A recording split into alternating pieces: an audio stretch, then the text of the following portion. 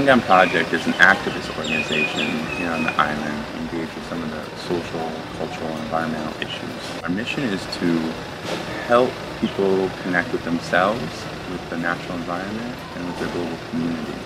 And we're doing so through a series of programs. Um, mainly, we're involved in permaculture uh, education.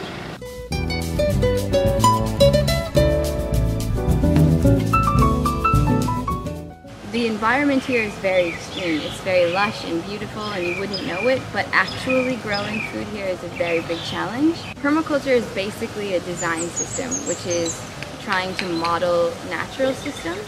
We walk through that forest, what do we see? What plants are growing? What does the soil look like?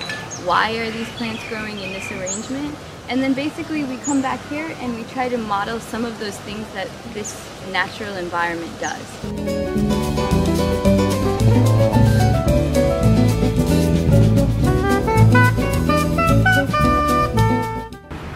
Working on volunteer organization. During the application process, we ask them what they like to do, what they like to spend their time on, and what they're good at.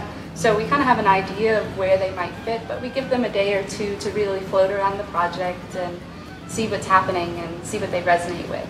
They completely shape the project just by the events that they coordinate and the work that they do, the ideas they come up with, but um, I feel we give them sense of community when they come here.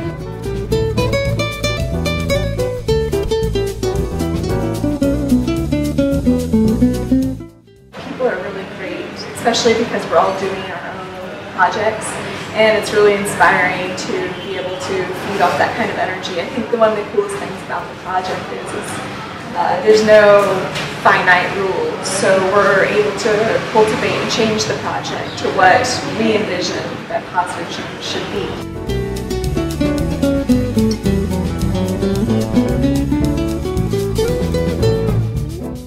I was looking to volunteer with eco-related projects. I wanted to mainly get in touch with recycling.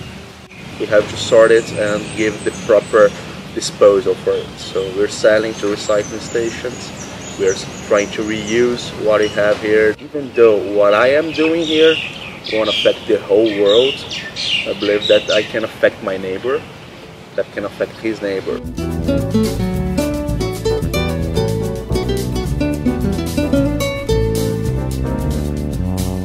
For the first couple of months, I've been learning the different Thai vegetables and greens and stuff, organic stuff that comes from the island. And my goal is to take that food along with my influences from other restaurants that I've worked in and make a different cuisine here. Food is based around community. Meals are communal times, are social times, they're time to nourish yourself and your body and your soul.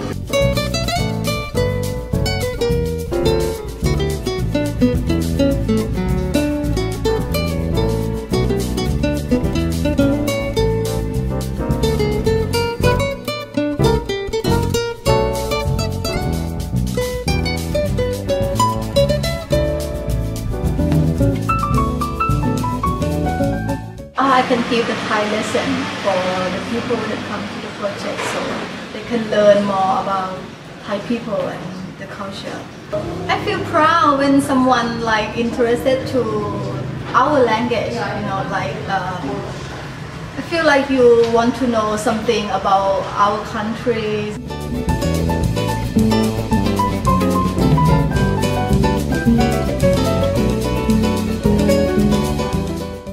We at Phangan Project um, consider ecotourism more than just going into some forest or uh, see some waterfall.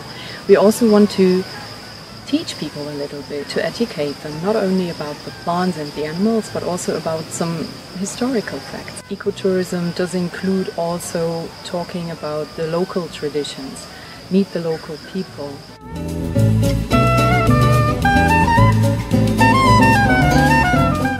Work uh, in the uh, in my farm uh, uh, five years. Phangan project help me uh, give volunteer for me. Help me difficult for make farm.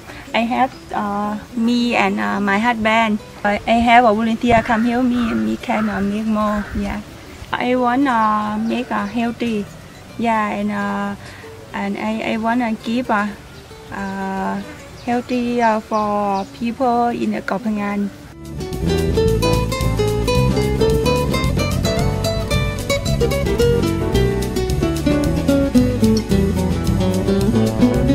It's an ongoing, ever-changing experience for everyone, myself included.